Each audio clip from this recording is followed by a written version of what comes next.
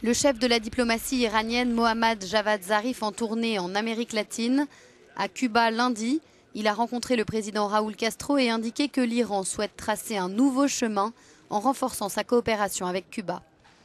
Zarif a notamment évoqué la possibilité de nouer de nouveaux accords en matière d'industrie, d'énergie et de technologie scientifique. Il a rappelé que l'Iran avait toujours été aux côtés du peuple cubain face, je cite, aux atrocités et aux sanctions injustes et fait l'éloge de la résistance des Cubains face aux États-Unis.